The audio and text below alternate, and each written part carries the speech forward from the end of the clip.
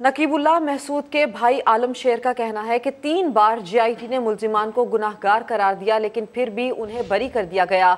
इतने वसाइल नहीं कि केस को मजीद चला सकें। पुलिस की बनाई गई जेआईटी ने भी उसको मुजरम गुनहगार करार दिया था। उसके बावजूद भी सारे जो मुलजमान थे, उसको बरी कर दिया गया है। हमारे पास इतने वसाइल नहीं है कि हम इस केस को चला सके इन इस केस को आगे तक लेके जाएँगे अगर कौम साथ है तो। रोहनवार की तरफ़ से ख़ुद तो नहीं आए, लेकिन बाकी लोगों की तरफ़ से हमें धमकियाँ भी मिली है। और पेशे की डिमांड भी आई है कि तुम लोगों को मुँह मांगी कीमत देंगे, हमें इस केस से निकाल दो। नकीब की खून की सौदेबाजी नहीं करेंगे तो जब तक हमें इंसाफ नहीं मिलता है तब तक हम ना नकीब को बोलेंगे, ना पीछे हटेंगे इस केस से और ना ही नकीब की खून की सौदेबाजी करेंगे।